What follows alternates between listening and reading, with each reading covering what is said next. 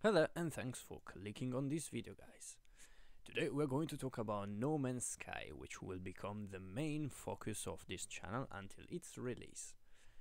Have you seen how many dragons are in No Man's Sky? As you know, the creatures are procedurally generated, which means that there is an infinity amount of almost or almost that can be found in the game. Some of those are dragons. In those featured images, you can see different types of dragons, like flying ones and walking ones. They look absolutely stunning. Rumors are that beasts in the game can be tamed as well. Not like in Ark, but it might be. So how great would that be then?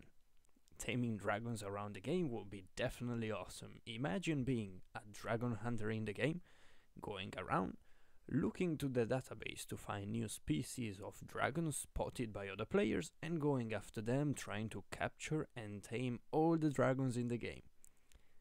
Oh my god. This is just one of the many things you can do in No Man's Sky and the ones shown in this video are just two of the possible existing dragons. So who knows how many more combinations are possible. What about you? Do you have any other idea on what possible things you can do in No Man's Sky? If so, please let me know by leaving a comment below. In this channel, we're going to cover a lot more of content on No Man's Sky.